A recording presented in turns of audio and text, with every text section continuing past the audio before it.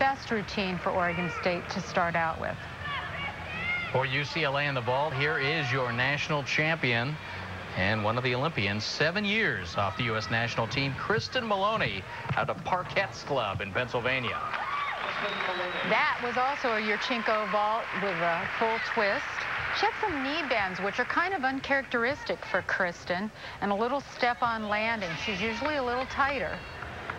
Watch as she does the round off, pushes off the horse really well, but her, her legs aren't quite together. You see a big step on the landing to keep her from falling backwards. And Maloney opens with a 9.85.